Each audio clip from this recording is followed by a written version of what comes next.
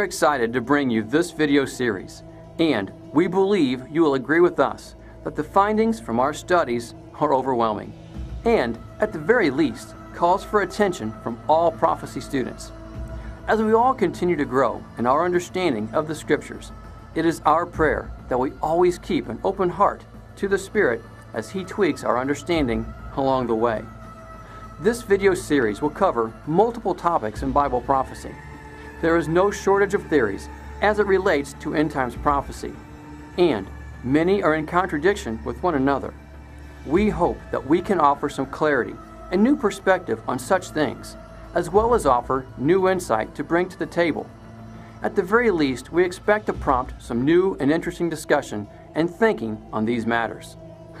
Obviously, we do not claim to have everything figured out, and we are definitely open to adjusting and tweaking from other perspectives.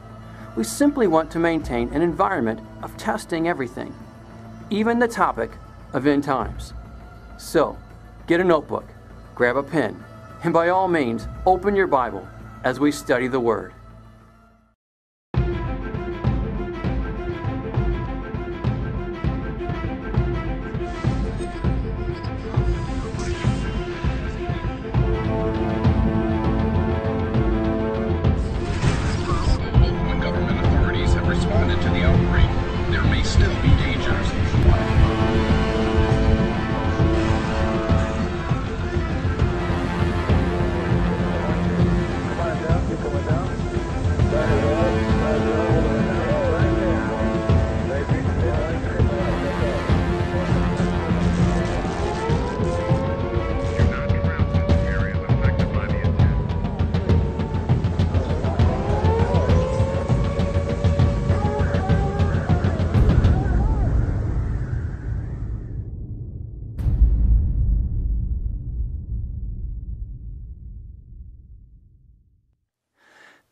Many staunch debates over the years as to just when the church will be taken.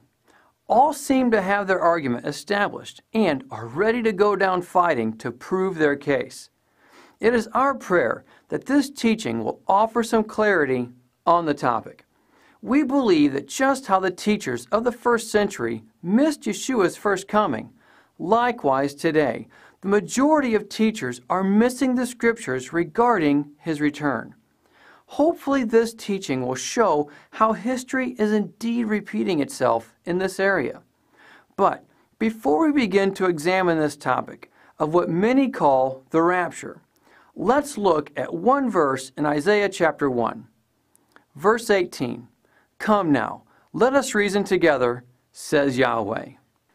Ask yourself the question Am I willing to reason with the Scriptures, or am I wanting to debate my perspective? This is imperative that we answer this question now. Are you willing to examine the Scriptures from the viewpoint that some of your existing beliefs could actually be wrong? Could you actually entertain the thought that something you have believed in for years may indeed not be true? This is difficult for many, but something that needs to honestly be addressed. All too often, when someone presents something that opposes what we believe, our first knee jerk response is to reject it, simply because we struggle with the thought that we could actually be wrong. So again, I say, ask yourself, am I willing to reason with the Scriptures, or am I wanting to debate my perspective? You and only you can answer this question. Come now, let us reason together, says Yahweh. Let's touch on a couple of basics first. Harmony of the Scriptures. This is a must. If you hold to a teaching or belief that does not line up with all Scripture, then you need to seriously reconsider that view. We believe that Scripture interprets Scripture. We do not believe that an interpretation of a Scripture is to interpret another Scripture. One more time. We believe that Scripture interprets Scripture. We do not believe that an interpretation of a Scripture is to interpret another Scripture. Terminology. Terminology that one uses must be scriptural. This is something that we believe is lacking with many believers today. We need to do our best in keeping with terms that are found in the Scriptures. What can develop is error. At the very least, misunderstanding will creep in over time. Let's face facts. The word rapture does not exist in the Scriptures. Should we use it? Many would say, well, you know that it means the same thing. We understand where you're coming from, but is it in the Scriptures? If we are trying to be a New Testament church, shouldn't we be using New Testament terms? Other phrases you will not see in the Scriptures are church age. You'll see the word church and you'll see the word age, but you'll never see them together to name a particular age. Another, tribulation saints. You'll see the word tribulation and you'll see the word saints, but you'll never see them together to name any particular type of saints. This is truly imperative that we understand the importance of this. Not using biblical terms can eventually lead to unbiblical theology. To begin our study, we need to briefly go over the five views of what has been traditionally called the rapture. It's what the scriptures refer to as the resurrection. Obviously, there will be variations within each camp of these views, but as a whole, these basically represent what each view holds to. The first is the pre tribulation view. As you can see, the view holds to the rapture or resurrection taking place before the tribulation, with there being a seven year tribulation in which the seals, trumpets, and bowls all take place. Then, after all this, we have the return of Yeshua, followed by the millennial reign of Yeshua, then the white throne judgment, followed by the eternal kingdom. This is the general understanding of the pre tribulation view. Next, we have the mid tribulation view. This view is very similar to that of the pre tribulation view, except that the resurrection takes place in the middle of the tribulation. All else is relatively the same, with some minor changes depending on who you are asking. Next, we have what is called the pre wrath view. It has the rapture, resurrection, taking place just before the bowls. Again, all else is relatively the same. Next, we have what is called the post tribulation view, which basically has the rapture, resurrection, taking place at the return of Yeshua after the bowls. Finally, we have the last view. It's simply referred to as the pan trib, simply meaning however it pans out. Taking the view that however it's going to happen, then that's how it's going to happen. Really taking no stance on the subject for whatever reason. Maybe they believe it's just beyond them, or they've heard so many debates on the topic that they just don't know what or who to believe. As we've said before, everybody's right on something and everybody's wrong on something and we truly need one another as we all learn and grow together. With all that being said, let's begin. At one time, like so many, I used to believe in what is called the pre tribulation rapture. But when I was a teenager, I started asking questions that weren't getting answered. Not getting answered, in my opinion, anyway. The answers that were given sounded good, but they didn't line up with other scriptures. One verse that really tipped me over was this Revelation chapter 20. I saw thrones on which were seated those who had been given authority to judge. And I saw the souls of those who had been beheaded because of their testimony for Jesus and because of the Word of God. They had not worshipped the beast or his image, and had not received his mark on their foreheads or their hands. They came to life and reigned with Christ a thousand years. The rest of the dead did not come to life until the thousand years were ended. This is the first resurrection. Blessed and holy are those who have part in the first resurrection. The second death has no power over them, but they will be priests of God and of Christ and will reign with him for a thousand years. So, here we have this verse telling us who is involved with the first resurrection.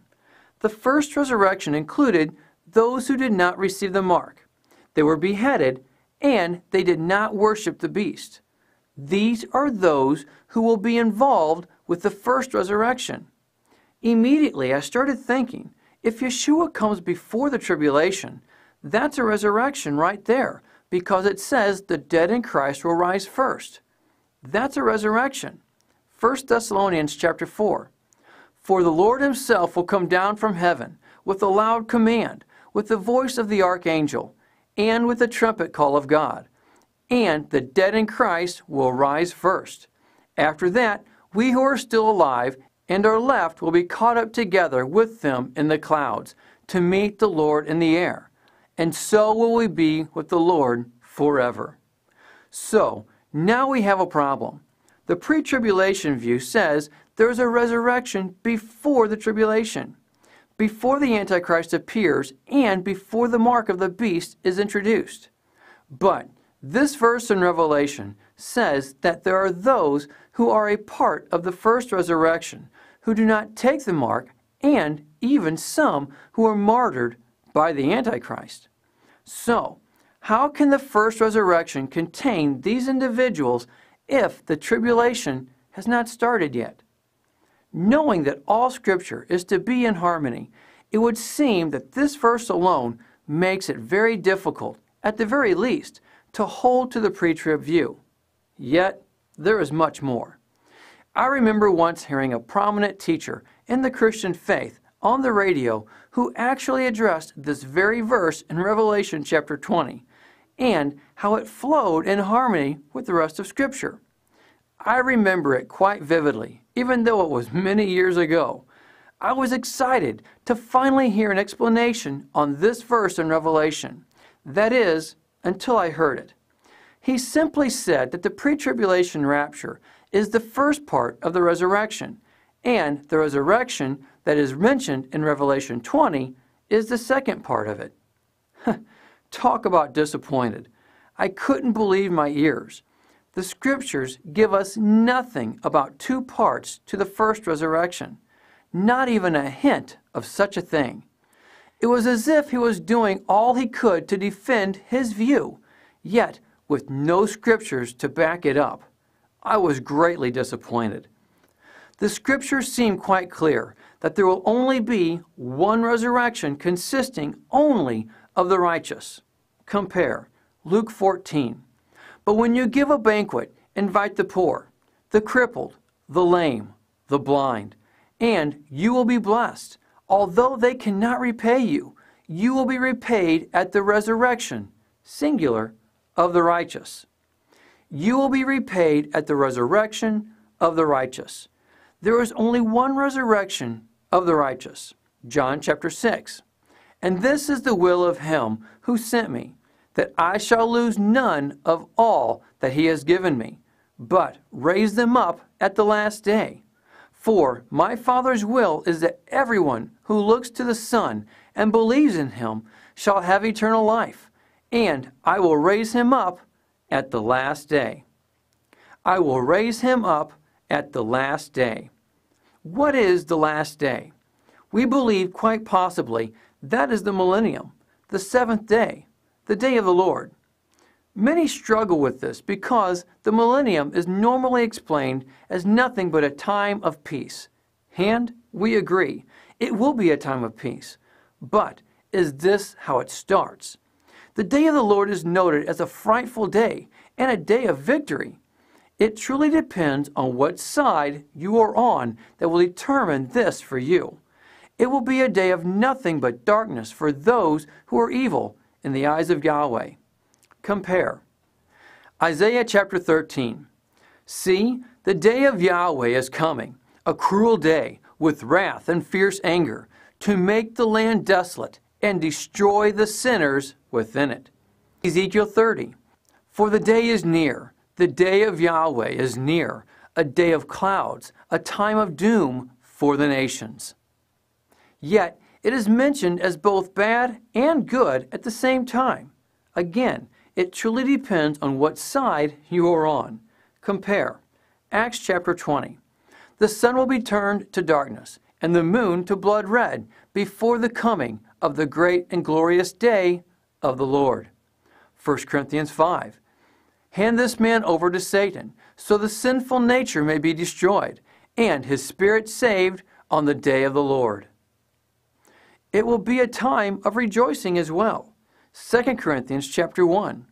For we do not write you anything you cannot read or understand. And I hope that as you have understood us in part, you will come to understand fully that you can boast of us just as we will boast of you in the day of the Lord Jesus. References to the day of the Lord can be the very beginning, the middle, and even the end of it, like that found in Peter. Compare 2 Peter chapter 3. But the day of the Lord will come like a thief. The heavens will disappear with a roar. The elements will be destroyed by fire, and the earth and everything in it will be laid bare. Since everything will be destroyed in this way, what kind of people ought you to be? You ought to live holy and godly lives as you look forward to the day of God and speed its coming. The day will bring about the destruction of the heavens by fire, and the elements will melt in the heat. But in keeping with his promise, we are looking forward to a new heaven and a new earth, the home of righteousness. So then, dear friends, since you are looking forward to this, make every effort to be found spotless, blameless, and at peace with Him. So, being raised at the last day truly seems that we are being raised at the time of the millennium. Continuing on this topic of the resurrection in John chapter 6, verse 44 No one can come to me unless the Father who sent me draws him and I will raise him up at the last day. Again, verse 54 Whoever eats my flesh and drinks my blood has eternal life, and I will raise him up at the last day. In this chapter alone, Yeshua keeps telling us that we will be raised at the last day. We must understand that there is a difference between being raised to life and being resurrected. Raised to life is being raised from the dead only to die again. Resurrected is being raised from the dead with a new body to never die physically again. One who has been raised from the dead will die again because they are raised with the same body, like that of Lazarus or any of those that Yeshua raised from the dead while he was walking the earth in his ministry. But those who are resurrected are raised with a glorified body. So, the question for us at this moment is how many resurrections are there? How many resurrections does the scriptures tell us will happen through all of history? There are a total of three resurrections as given in the scriptures. Compare 1 Corinthians chapter 15, starting in verse 20. But Christ has indeed been raised from the dead, the first fruits from those who have fallen asleep. For since death came through a man, the resurrection of the dead comes also through a man. For, as in Adam, all die, so in Christ, all will be made alive. But each in his own turn. Christ the firstfruits, then, when he comes, those who belong to him. Then the end will come.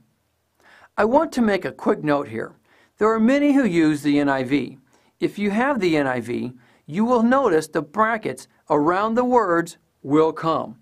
This is to let you know that these words were added and are not in the Greek text. So, since these are not in the Greek text, let's read this without those words as added by the NIV, starting from verse 23. But each in his own turn Christ, the firstfruits, then, when he comes, those who belong to him. Then the end, when he hands over the kingdom to God the Father, after he has destroyed all dominion, authority, and power. So, according to this text, we see that Yeshua was the first resurrection, but each in his own turn. Christ, the first fruits. Yeshua was the first one resurrected from the dead.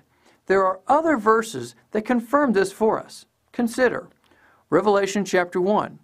and from Jesus Christ, who is the faithful witness, the firstborn from the dead. Colossians 1:18. And he is the head of the body, the church. He is the beginning and the firstborn from among the dead. And then, just at the beginning of the text that we were discussing, 1 Corinthians 15, verse 20. But Christ has indeed been raised from the dead, the first fruits of those who have fallen asleep. So, there is no question as to Yeshua being the first resurrection, the first fruits from the dead. Now, let's look at the second resurrection, continuing in verse 23. Then, when he comes, those who belong to him.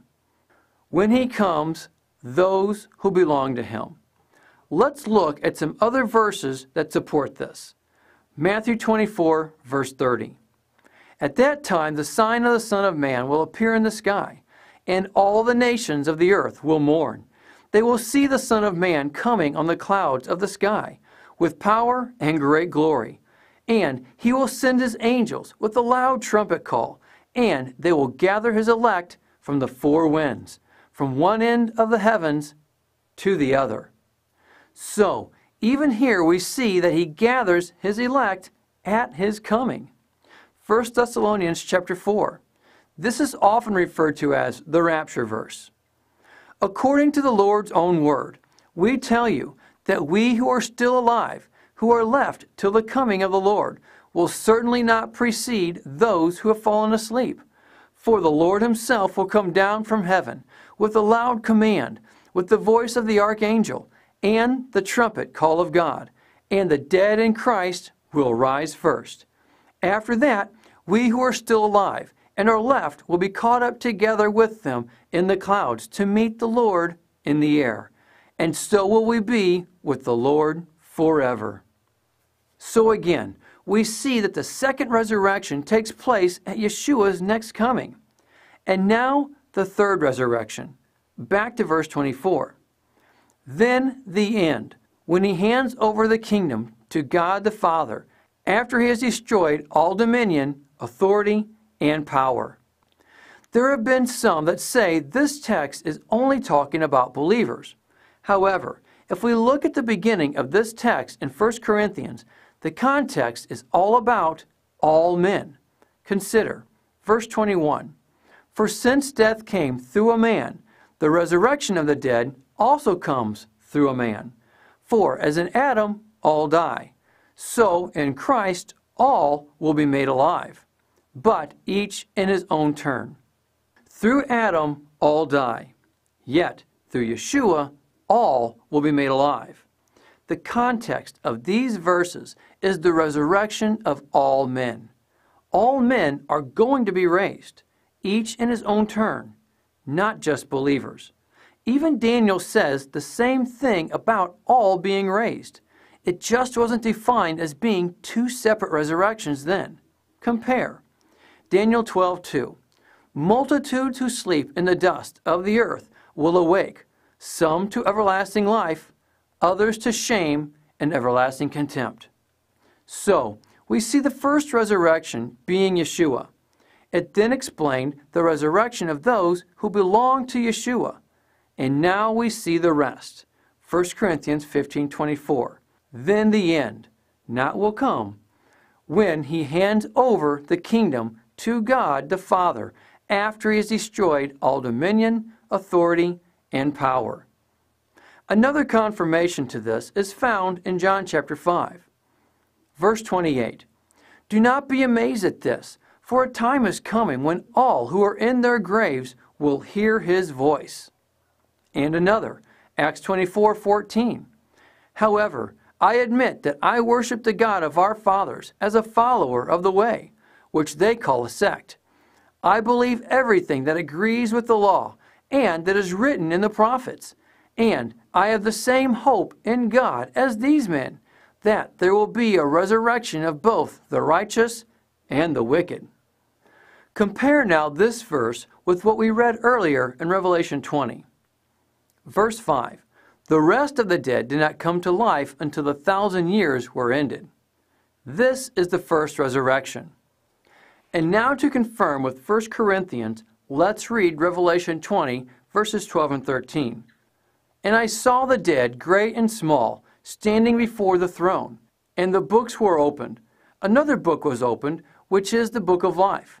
The dead were judged according to what they had done, as recorded in the books.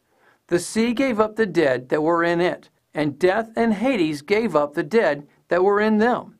And each person was judged according to what he had done. With this in mind, we see just how Paul said in 1 Corinthians 15 Then the end, when he hands over the kingdom to God the Father after he has destroyed all dominion, authority, and power. And here we see in Revelation the last resurrection just before he hands everything over to the Father. So we see Yeshua resurrected as the first fruits, those who belong to him resurrected at his coming, and the rest of the dead resurrected at the end just before he hands everything over. Another scripture that the pre-trib view seems to overlook is Acts 3:21. It says, "He must remain in heaven until the time comes for God to restore everything, as he promised long ago through his holy prophets." Here we see that Yeshua must remain in heaven until the restoration is to happen. Thus, he can't leave heaven until the day of the Lord. When discussing this with my youth pastor many years ago, he told me that Yeshua never leaves heaven at that time of the rapture. He said that heaven basically just opens up and we all go up there with him. It sounded good at the moment. That is, until I read back over the verse noted by many as the rapture verse. It says, According to the Lord's own word, we tell you that we who are still alive, who are left till the coming of the Lord, will certainly not precede those who have fallen asleep. For the Lord himself will come down from heaven. So, here we have the rapture verse telling us that he leaves heaven. Thus, when Yeshua leaves heaven, it's for the restoration of all things before the millennium at his return. Another issue that needs to be addressed is that of the mystery at the trumpet. 1 Corinthians 15. Listen, I tell you a mystery. We will not all sleep, but we will all be changed in a flash, in the twinkling of an eye, at the last trumpet, for the trumpet will sound. Notice, there is a mystery. And what happens at that mystery? A trumpet sounds. At this trumpet, we are changed. This is the resurrection. Again, a mystery trumpet and resurrection. Let us now compare this to Revelation. Revelation chapter 10. But in the days when the seventh angel is about to sound his trumpet, the mystery of God will be accomplished, just as he announced to his servants, the prophets. If you go to the verses just before the seventh trumpet blows, you see the two witnesses raised to life. We believe it's possible that all followers of Yeshua join them as it appears they seem to be resurrected since they are taken up. The question here is this Do we think Paul, writing to the Corinthians, really knew about the seventh last trumpet of Revelation? Not at all. Nor do we believe that John, when writing Revelation, was reflecting on what Paul wrote to the Corinthians. However, we believe the Father is the one truly giving us these verses through these authors by way of the inspiration of the Holy Spirit. In that light, is it really that hard to see these verses being tied together in such a way? At the very least, one can say it's interesting. The next thing we consider when looking at the pre tribulation rapture view is the phrase, at that time. Consider Matthew 24. Immediately after the distress of those days, the sun will be darkened, and the moon will not give its light. The stars will fall from the sky, and the heavenly bodies will be shaken. At that time, the sign of the Son of Man will appear in the sky, and all the nations of the earth will mourn. They will see the Son of Man coming on the clouds of the sky, with power and great glory. And he will send his angels with a loud trumpet call, and they will gather his elect from the four winds, from one end of the heavens to the other. At that time, what time? When the sun is darkened, the moon does not give its light, and the stars fall. So, what happens at that time? He gathers his elect. The big question here is who is the elect? Some like to say the elect are the 144,000. But is that really the case? Let's look at the scriptures and see just who the elect really is. Please consider Romans chapter 11.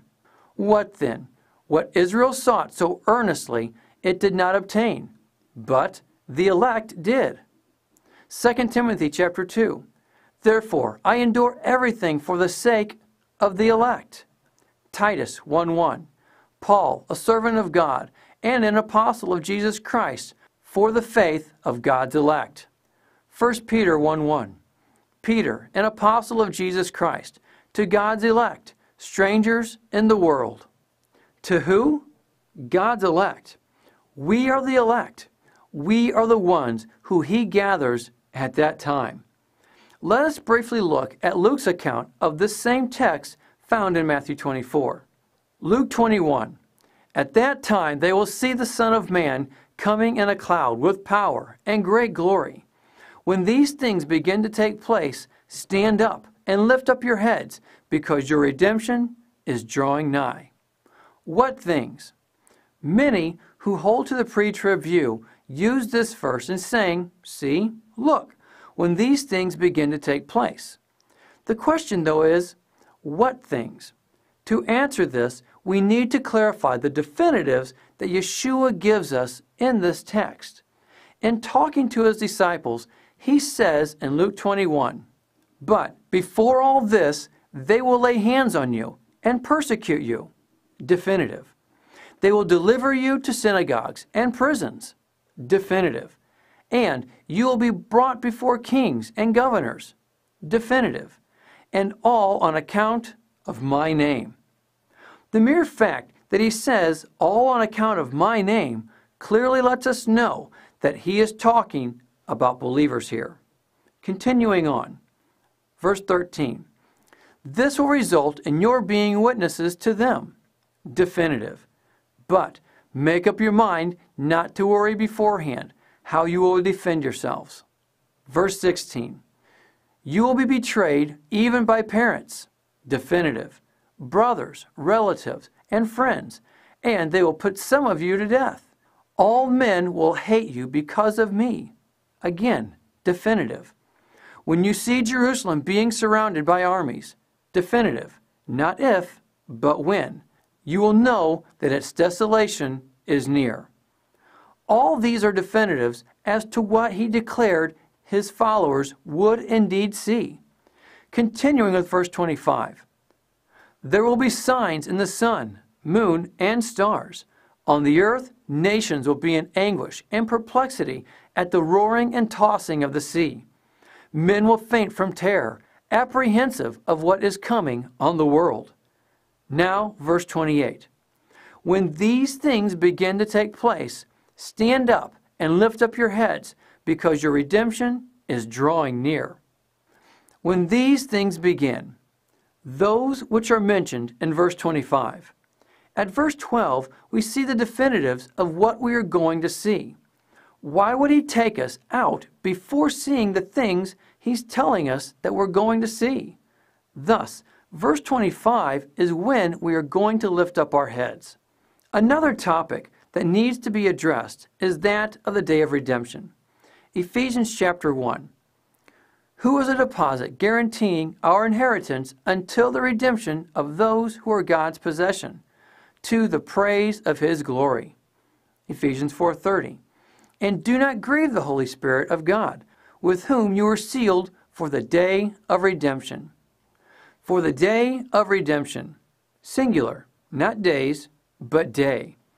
Romans 8:23.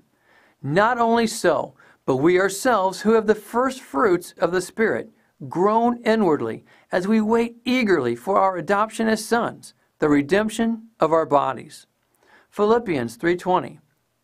But our citizenship is in heaven, and we eagerly await a Savior from there, the Lord Jesus Christ, who, by the power that enables him to bring everything under his control, will transform our lowly bodies so that we will be like his glorious body. Will transform our lowly bodies. When he comes, he will redeem our bodies and transform them on the day of redemption. Singular. Another thing for us to consider in reviewing the pre trib view is the parable given in Luke 19. Consider. He said, A man of noble birth went to a distant country to have himself appointed king, and then to return. So he called ten of his servants and gave them ten minas. Put this money to work, he said, until I come back. Until I come back. The parable continues, and when we see the master come back, the servants come to him. The first one comes to him and says, he now has earned 10 minas. The master responds, Well done, and puts him in charge of 10 cities. Then the next servant came with how he earned five. Well done, says the master, and puts him in charge of five cities.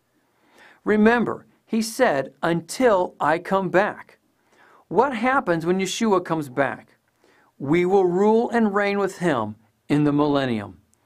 2 Timothy chapter 2. If we endure, we will also reign with him. Revelation 20. Blessed and holy are those who have part in the first resurrection. The second death has no power over them, but they will be priests of God and of Christ, and will reign with him for a thousand years. So, what does this tell us? We are to continue steadfast until he comes to reign and that's when we get to reign with Him. There are many debates that are brought up in discussing this topic with those who hold to the pre tribulation view. The first that is usually brought up is that which is called the restrainer. There are several views as to just who this restrainer truly is. One view is that it is actually the church, basically saying that the Antichrist cannot come until the church has been raptured away. So, let's examine the verses where the restrainer is found. They are found in 2 Thessalonians chapter 2.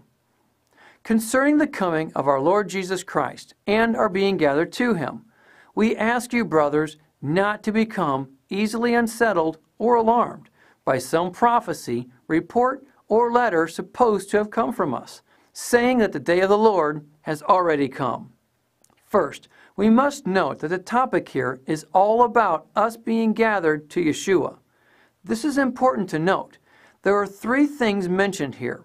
One, the coming of Yeshua. Two, being gathered to him. And three, the day of the Lord. This tells us that the coming of Yeshua and our being gathered to him equals the day of the Lord.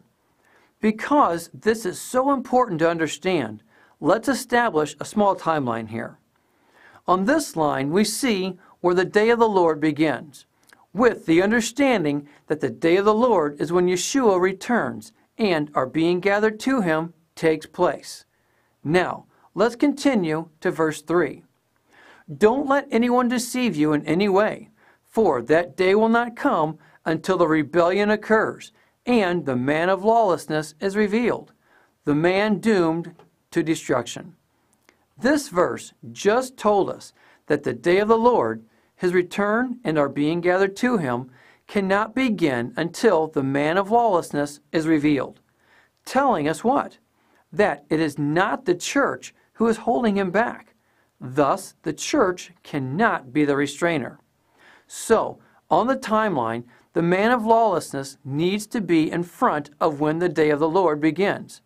Continuing, 2 Thessalonians chapter 2 verse 4. He will oppose and will exalt himself over everything that is called God or is worshiped, so that he sets himself up in God's temple, proclaiming himself to be God. Don't you remember that when I was with you, I used to tell you these things? And now you know what is holding him back, so that he may be revealed at the proper time. Here we see that there is indeed something holding the Antichrist back. But it obviously is not the church. So, on our timeline, working backwards, we see the day of the Lord beginning after the revealing of the Antichrist, which takes place after the restrainer is taken out of the way. Next verse. 4. The secret power of lawlessness is already at work, but the one who now holds it back will continue to do so till he is taken out of the way. And then the lawless one will be revealed, whom the Lord Jesus will overthrow with the breath of his mouth and destroy by the splendor of his coming. There are many opinions as to who the restrainer really is. We currently hold that it is actually Michael, the archangel. This may sound strange at first, but please consider the similarities. Daniel chapter 12, verse 1. At that time, speaking of the end, Michael, the great prince who protects your people, will arise. There will be a time of distress. Such has not happened from the beginning of nations until then.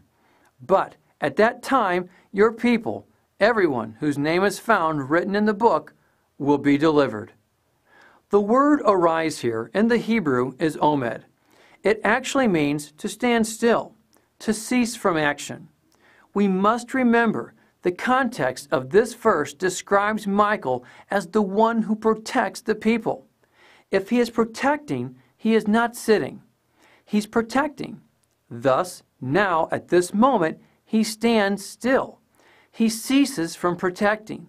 At that time, it will be a time of great distress, as the verse says. Knowing that Michael is the one who protects the people, does it not sound like he could be the one who is actually holding the Antichrist back? This is not something that we believe can be declared as gospel truth. However, it does seem to line up with Scripture in that he could easily be the restrainer who holds the Antichrist back until the beginning of it all. But we can definitely see that the restrainer is not the church.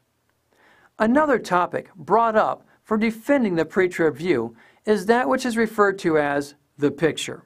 It's found in Revelation chapter 4, starting in verse 1. After this I looked, and there before me was a door standing open in heaven.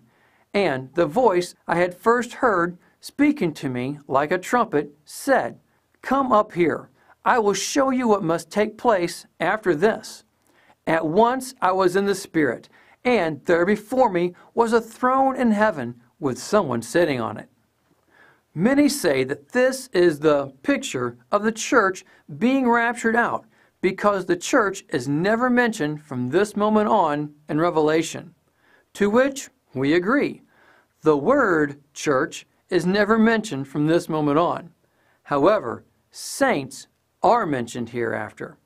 So, just because the word church is not mentioned this does not mean that the church itself is not there. Some are quick to say that these are the tribulation saints. But again, this is a term that is found nowhere in Scripture. So the question then becomes who are the saints? Romans chapter 1. To all in Rome who are loved by God and called to be saints. 1 Corinthians chapter 6. If any of you has a dispute with another, Dare he take it before the ungodly for judgment instead of before the saints? Do you not know that the saints will judge the world? And if you are to judge the world, are you not competent to judge trivial cases? Here we see that the saints will judge the world, and then these are told that they will be the ones judging the world. Meaning what? They are the saints. Romans 16. I commend to you our sister Phoebe, a servant of the church in Cenchreae. I ask you to receive her in the Lord in a way worthy of the saints. The saints are the church, and we clearly see the saints, the church, in the tribulation after Revelation chapter 4. Yet, regarding pictures as assumed for Revelation 4 1 and 2, please consider the following Isaiah 46. I make known the end from the beginning, from ancient times what is still to come. I say, My purpose will stand, and I will do all that I please. From ancient times, what is still to come. The ancient times are the pictures of what is to come. What are the ancient times that we learn from? Those that could indeed be pictures or illustrations for us. Consider Noah. The day they entered the ark, what happened? The rains came down. Consider Lot and his family. The day they left, judgment fell. Consider Shadrach, Meshach, and Abednego. They went through the flames, yet they were protected. Consider the ten plagues. From the fourth one on, God's people were exempt from the plagues. Though they were there, they were protected and not affected. Pictures. These are the pictures we are to consider. Isaiah 46 I make known the end from the beginning, from ancient times what is still to come. I say, My purpose will stand, and I will do all that I please. This brings up the next topic that is often mentioned when defending the pre trib view. That topic is the wrath. The statement often said is, We are not called to suffer wrath. And we completely agree. So let's look at that verse. 1 Thessalonians 5 9. For God did not appoint us to suffer wrath, but to receive salvation through our Lord Jesus Christ. Again, we agree that we are not called to suffer the wrath of God. But consider some verses that show God's wrath and redemption on the same day. Though we covered Noah and Lot, consider here how even Yeshua refers to them both in this light. Luke 17. Just as it was in the days of Noah, so also it will be in the days of the Son of Man. People were eating, drinking, marrying, and being given up in marriage to the day Noah entered the ark. Then the flood came and destroyed them all. It was the same in the days of Lot. People were eating and drinking, buying and selling, planting and building. But the day Lot left Sodom, fire and sulfur rained down from heaven and destroyed them all. It will be just like this on the day the Son of Man is revealed. Yeshua himself is showing us wrath and redemption happening on the same day. Consider also 2 Thessalonians. All this is evidence that God's judgment is right and as a result, you will be counted worthy of the kingdom of God, for which you are suffering. God is just. He will pay back trouble to those who trouble you, and give relief to you who are troubled, and to us as well. This will happen when the Lord Jesus is revealed from heaven in blazing fire with his powerful angels. He will punish those who do not know God and do not obey the gospel of our Lord Jesus. Again, here we see wrath and redemption on the same day with the return of Yeshua. Again, we agree that we are not called to suffer the wrath of God. Never. But we must also remember the Hebrews were protected during the judgments of the ten plagues. First, he indeed declares them as judgments. Exodus chapter 6. Therefore, say to the Israelites, I am Yahweh, and I will bring you out from under the yoke of the Egyptians. I will free you from being slaves to them, and I will redeem you with an outstretched arm and with my mighty acts of judgment. Then, as stated before, from the fourth plague on, we see the Hebrews being protected. But on that day I will deal differently with the land of Goshen, where my people live. No swarms of flies will be there, so that you will know that I, Yahweh, am in this land. I will make a distinction between my people and your people. This miraculous sign will occur tomorrow. So the Father knows how to protect His people in the midst of pouring out His judgments on the rest. Indeed, we agree that we are not called to suffer any wrath. However, the wrath of man, well, that's a different story. That's not guaranteed. In fact, our teaching titled The Seven Churches shows how the tribulation will be used as a time of refinement for the church. However, we must understand that there is an element of God's wrath that is truly displayed every day. Let's look at some verses regarding the wrath of God that could apply to a daily form. Psalms chapter 7. God is a righteous judge, a God who expresses his wrath every day. When does God express his wrath? Every day. 2 Peter. If this is so, then the Lord knows how to rescue godly men from trials and to hold the unrighteous for the day of judgment, while continuing their punishment. John chapter 3. Whoever believes in the Son has eternal life, but whoever rejects the Son will not see life, for God's wrath remains on him. Ephesians chapter 2. All of us also lived among them at one time, gratifying the cravings of our sinful nature and following its desires and thoughts. Like the rest, we were by nature objects of wrath. And consider here in Revelation I saw in heaven another great and marvelous sign seven angels with the seven last plagues, last because with them God's wrath is completed. He's telling us right here that this is the completion of his wrath, the last of it all. Even when one looks at the end of the millennium, when Satan is loosed, it says he deceives many. But then fire then comes down from heaven and destroys those who follow him. Yet there is no wrath mentioned. There's not even a fight. He simply wipes them out and then prepares for the final judgment. Revelation is where God concludes his wrath, not starts it. The next topic, often referred to in defending the pre trib view, is that of the Church of Philadelphia in Revelation 3. We cover this in much detail in our teaching titled The Seven Churches. But let's look at it in the light of the pre tribulation rapture. Revelation chapter 3. Since you have kept my command to endure patiently, I will also keep you from the hour of trial that is going to come upon the whole world to test those who live on the earth.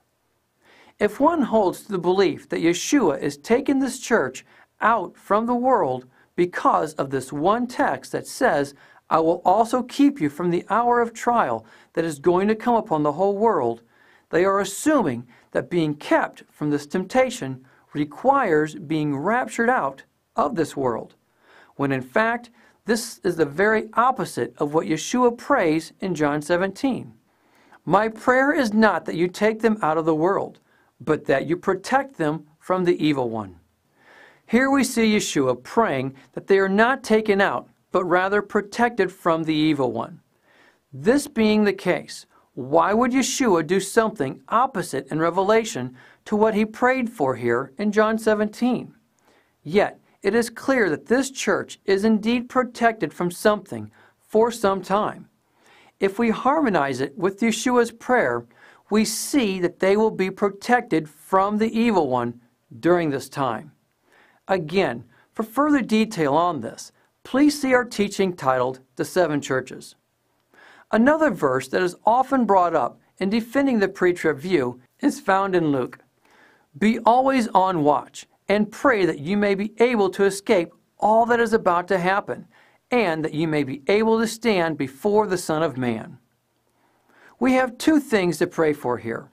One, to escape all things that are coming, and two, that we may be able to stand before the Son of Man. Let's read the verse again, and we'll see that there are clearly two things to pray for, and not one wrapped together. Be always on the watch, and pray that you may be able to escape all that is about to happen, and that you may be able to stand before the Son of Man. This verse is very similar to what is given to the churches of Revelation. Just as the church of Philadelphia was to escape the hard times of the tribulation, we are encouraged by Yeshua to pray that we escape as they. Just as all churches in Revelation were encouraged to be steadfast and overcome so they can receive eternal life. We see the same here that we may be able to stand before the Son of Man. To make this text say anything other truly opposes the harmony of all Scripture. Another argument given in defending the pre trib rapture is that we can't know the day when Yeshua returns. Though we cover this briefly in two of our teachings, we'll cover it in detail altogether here. Many are quick to mention that Yeshua himself said, No one knows that day or hour. To which we agree. He did say that. So, let's address these statements as they are and see what we come up with. First, we have Matthew 24, where it says, Heaven and earth will pass away, but my words shall not pass away.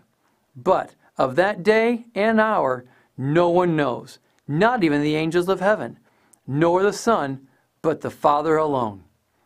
If we look at the context here, we see that the day and hour referred to here is when heaven and earth pass away, which only makes sense as there are several events given after the millennium that have no time frames allocated to them.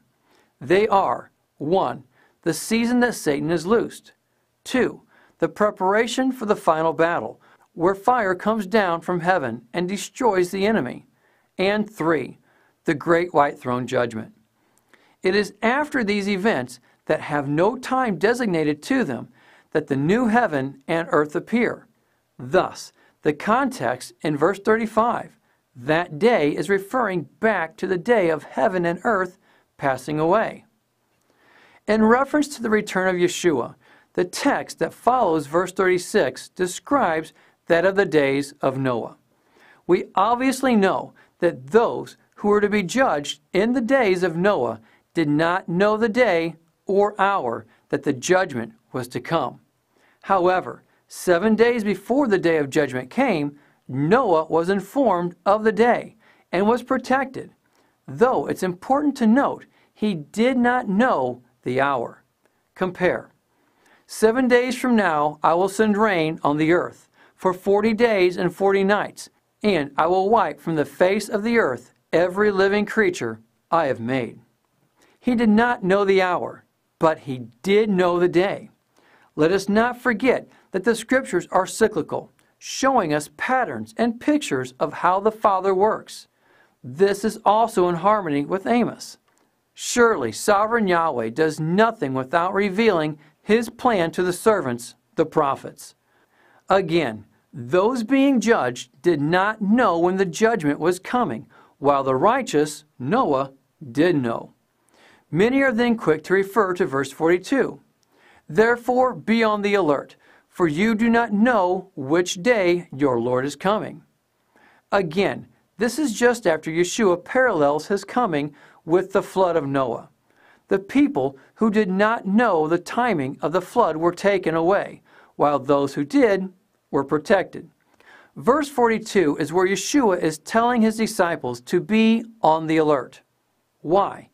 Because they did not know, present tense, when the Lord was returning. Let's now look at the following verses to show how he explains the previous statement. But understand this if the owner of the house had known at what time of night the thief was coming, he would have kept watch and would not have let his house be broken into. So you also must be ready, because the Son of Man will come at an hour when you do not expect him.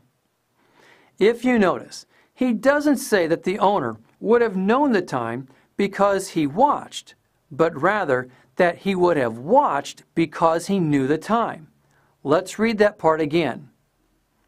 But understand this if the owner of the house had known at what time of night the thief was coming, he would have kept watch and would have not let his house be broken into.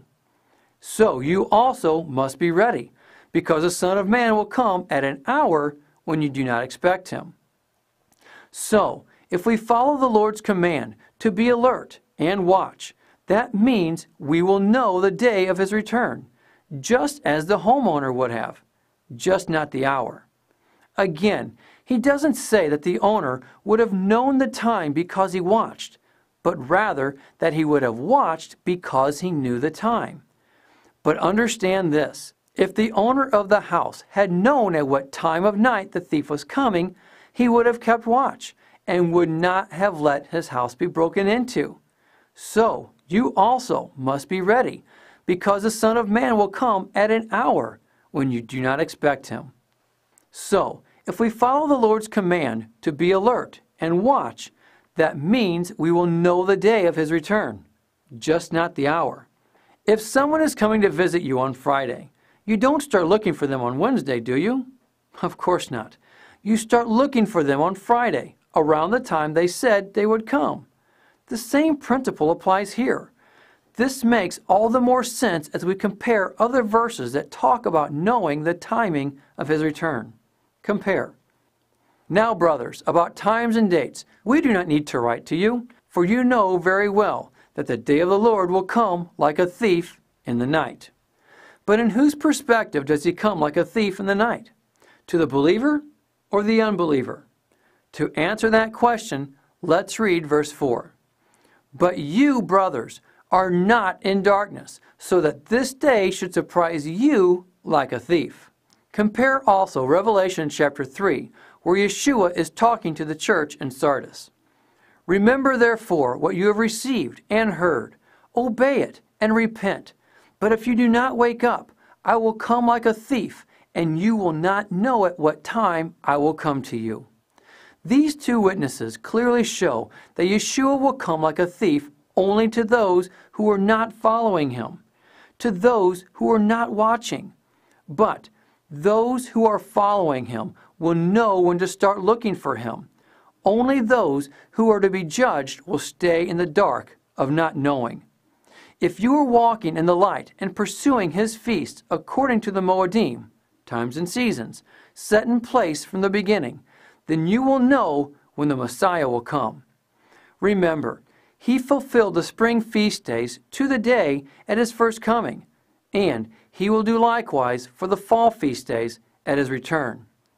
Many also use Matthew 25 to say that we will not know the day. It reads Later, the others also came. Sir, sir, they said, open the door for us.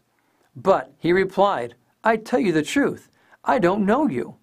Therefore, keep watch because you do not know the day or the hour. To understand this, we must keep the context. Let's read the verses before. The bridegroom was a long time in coming, and they all became drowsy and fell asleep. At midnight the cry rang out, Here comes the bridegroom! Come out to meet him! Then all the virgins woke up and trimmed their lamps. The foolish ones said to the wise, Give us some of your oil our lamps are going out. No, they replied, there may not be enough for both us and you. Instead, go to those who sell oil, buy some for yourselves. But while they were on their way to buy the oil, the bridegroom arrived. The virgins who were ready went in with him to the wedding banquet, and the door was shut. These are representative of all believers. Notice how they all fell asleep. But yet, at the end, only those who were ready were allowed in. This parallels exactly with what we see in Revelation chapter 3, verse 3, and 1 Thessalonians 5 4. Many refer specifically to verse 13 of this text. Therefore, keep watch, because you do not know the day or hour. But our question is this Does it say you will not know, or you do not know? It says, You do not know. Did Noah know what day the flood was coming during the hundred years of making the ark? No, he didn't. Did the virgins know the day of the bridegroom's return at the beginning? No, of course not. But was Noah eventually informed of the day? Yes, he was. Were the virgins informed of the return of the bridegroom? Yes, they were and half were not prepared and missed it.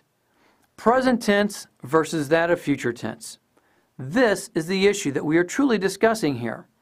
In all the verses that we have found, the only thing given that we will not know in light of future tense is that of the hour, and these are in harmony with that of Noah and the virgins.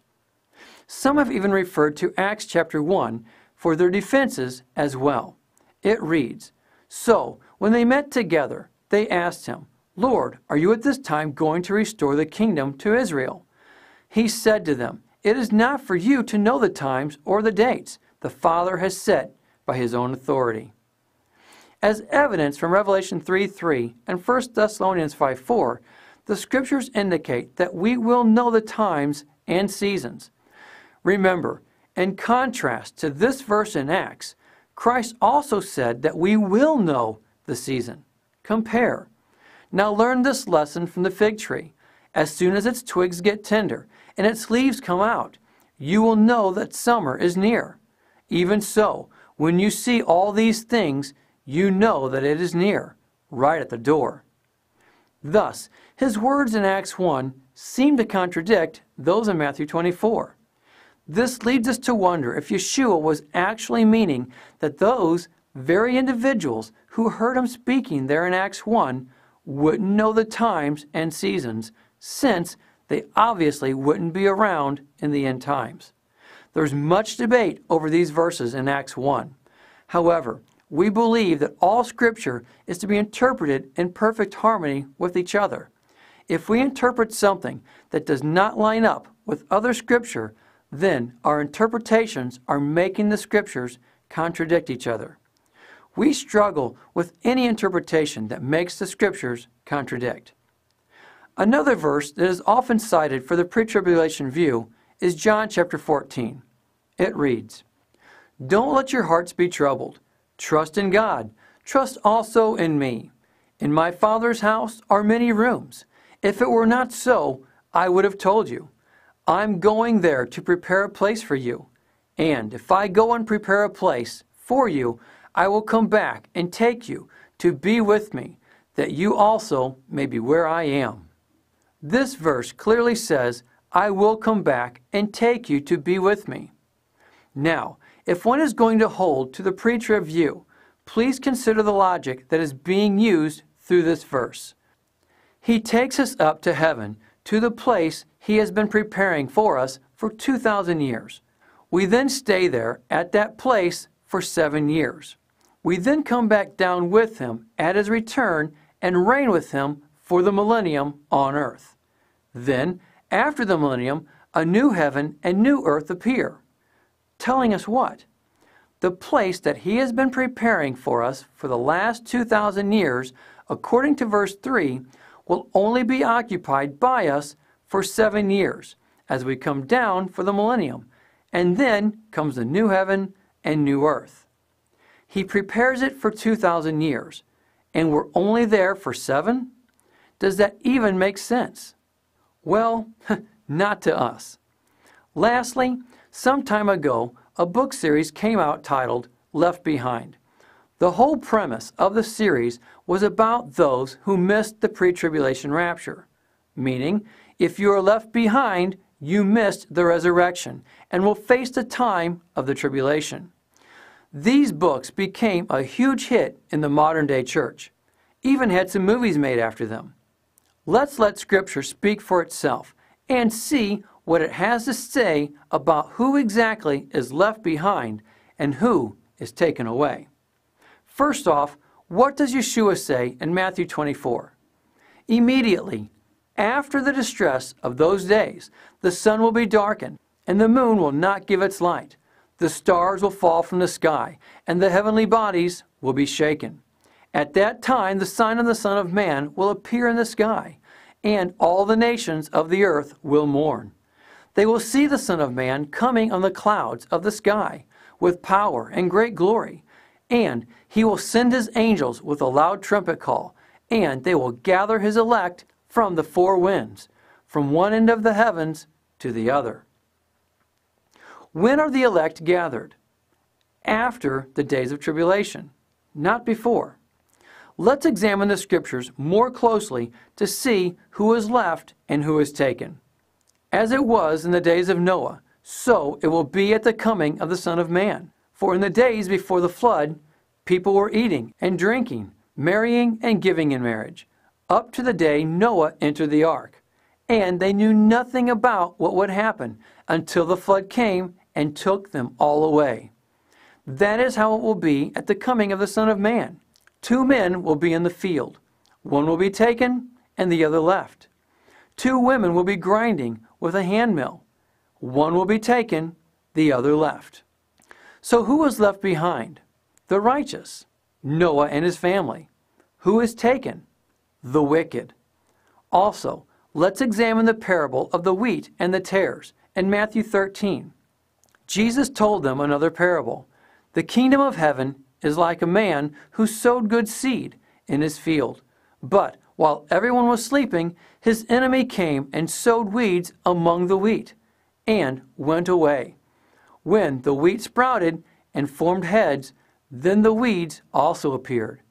The owner's servants came to him and said, Sir, didn't you sow good seed in your field? Where did the weeds come from? An enemy did this, he replied. The servants asked him, Do you want us to go and pull them up? No, he answered, because while you are pulling the weeds, you may root up the wheat with them. Let both grow together until the harvest. At that time I will tell the harvesters, First collect the weeds and tie them in bundles to be burned. Then gather the wheat and bring it into my barn. What harvest is being spoken of? The end time harvest. Again, who is taken? The tares, the unrighteous. Consider the words of Yeshua as he explains this parable to his disciples. Then he left the crowd and went into the house. His disciples came to him and said, Explain to us the parable of the weeds in the field. He answered, The one who sowed the good seed is the Son of Man. The field is the world, and the good seed stands for the sons of the kingdom. The weeds are the sons of the evil one, and the enemy who sows them is the devil. The harvest is the end of the age, and the harvesters are angels. As the weeds are pulled up and burned in the fire, so it will be at the end of the age. The Son of Man will send out his angels, and they will weed out of his kingdom everything that causes sin and all who do evil. They will throw them into the fiery furnace, where there will be weeping and gnashing of teeth. Then the righteous will shine like the sun in the kingdom of their Father. He who has ears, let him hear. So again, we see the tares, the unrighteous, being taken, and the wheat, the righteous, being left to shine forth. Let's look at another witness to this. Luke 17. Men will tell you, There he is, or Here he is. Do not go running off after them. For the Son of Man in his day will be like the lightning which flashes and lights up the sky from one end to the other. But first he must suffer many things and be rejected by this generation. Just as it was in the days of Noah, so also it will be in the days of the Son of Man. People were eating and drinking, marrying, and being given in marriage, up to the day Noah entered the ark. Then the flood came and destroyed them all. It was the same in the days of Lot. People were eating and drinking, buying and selling, planting and building. But the day Lot left Sodom, fire and sulfur rained down from heaven and destroyed them all. It will be just like this on the day the Son of Man is revealed. On that day, no one who was on the roof of his house with his goods inside should go down to get them. Likewise, no one in the field should go back for anything. Remember Lot's wife.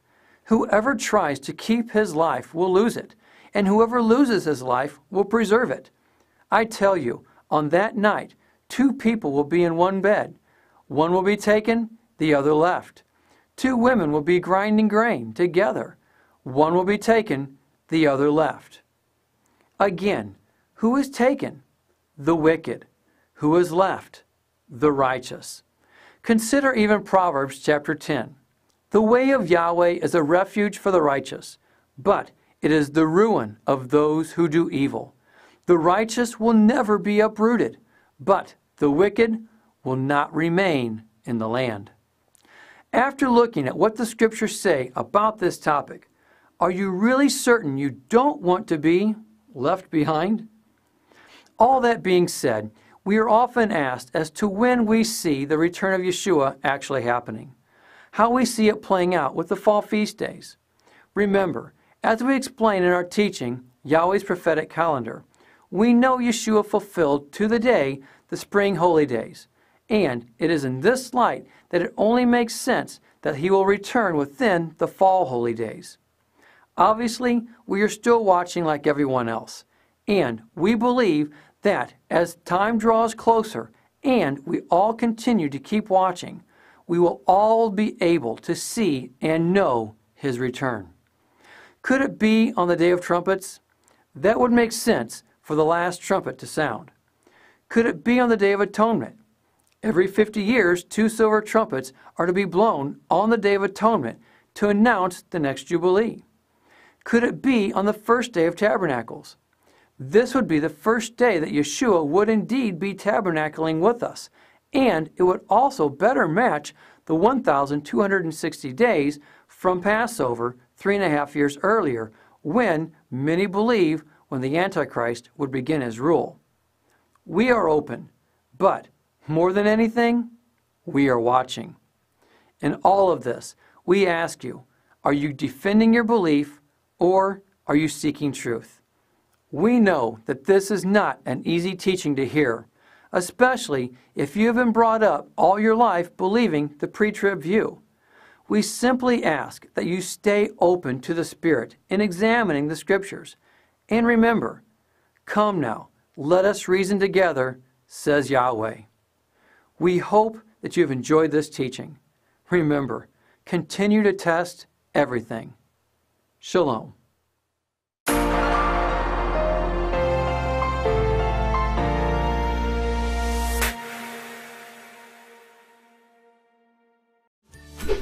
One Nineteen Ministries is now available on Roku, Apple TV, Google TV, Xbox Live, and more. You can now access dozens of free video teachings straight from your home television in the comfort of your home. If you would like to learn more, please visit us at testeverything.net.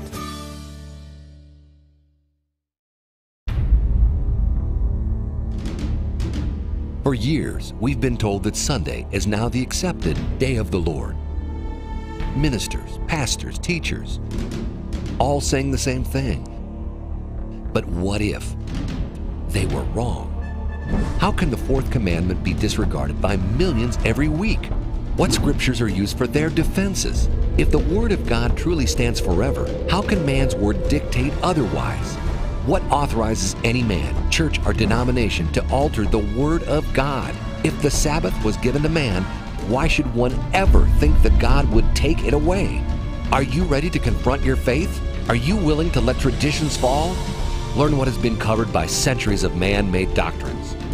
Discover the truth as revealed in the scriptures of how the Sabbath is the sign between the Father and those who pursue after his ways. The Sabbath Day from 119 Ministries.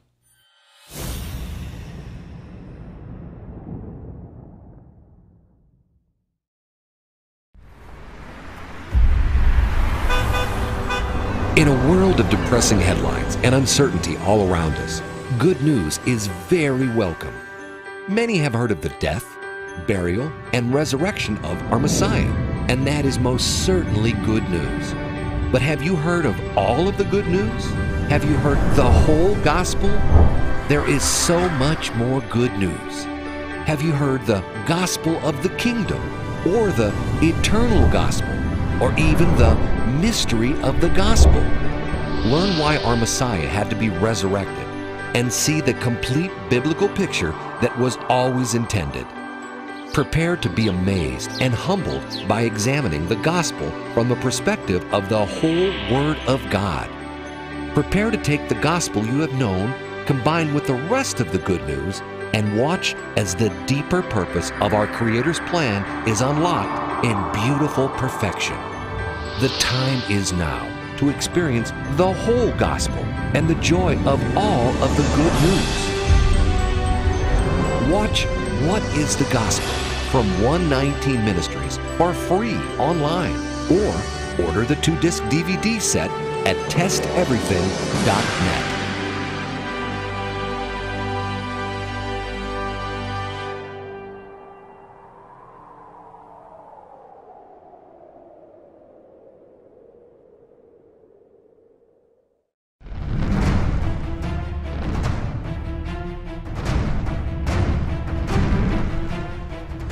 Christmas and Easter, two days esteemed above most others and are observed by nearly one third of the human population. Millions of believers worldwide celebrate these holidays to honor the birth, death, and resurrection of the Messiah. These festivals take many cultural forms and shapes around the world. But would you be alarmed to discover that these two seemingly innocent holidays are historically rooted in ancient occult practices which can be traced back to Babylon? Babylonian sun god worship has evolved throughout the centuries and has branched out into several major religions. Many professing believers have also adopted several of these pagan customs unaware. Even today, all throughout Catholicism and daughter denominations, there are still dozens of popular monuments and symbols that were at one time dedicated to various sun gods. What became this very same organization also instituted Christmas and Easter. Secular and Christian scholars alike all record that the Christmas tree, wreaths, boughs of holly, and mistletoe were all objects used in pagan sun god fertility rites. This, of course, begs the question what are they doing in the homes of believers today? Discover how Mithra and the Norse Odin evolved into the imaginary saint we know today as Nicholas, and how he became the key figure in the celebration of Christmas. In ancient folklore, St. Nicholas was accompanied by a dark counterpart known as the Krampus and had a striking resemblance to other false deities. The Easter Bunny and the dying of Easter eggs are also symbols of fertility connected to Ishtar, biblically referenced as the Queen of Heaven. Long before the birth of our Messiah, December 25th was a day used to celebrate the rebirth of the sun god. All of this and more has all been justified by man for hundreds of years. But when was the last time we considered what our Creator had to say regarding all of this? Do we care? Should we care? We reveal an opportunity and faith centered challenge to worship and practice the faith as He stated He desires for all His people, not according to us, not according to men, but instead according to His way, according to His word. That is, if you are ready to test everything. To order this two part teaching, visit testeverything.net or watch it for free in our video section.